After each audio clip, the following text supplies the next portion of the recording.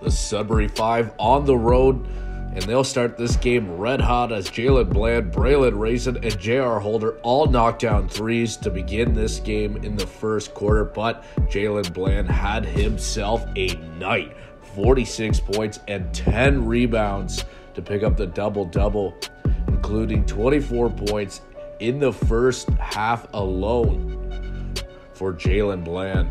But Halifax will make this a game in the third quarter. To the fourth, we go. J.R. Holder gets the ball knocked out of his hands. Then Braylon Rayson.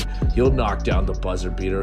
Less than a minute to go. Jaylen Bland, he'll get this jumper to land and take a look at that step back as he continues his red hot hand throughout this one. But the Island will come back in the dying seconds of the fourth period. Down by three. They need this to land, and they do.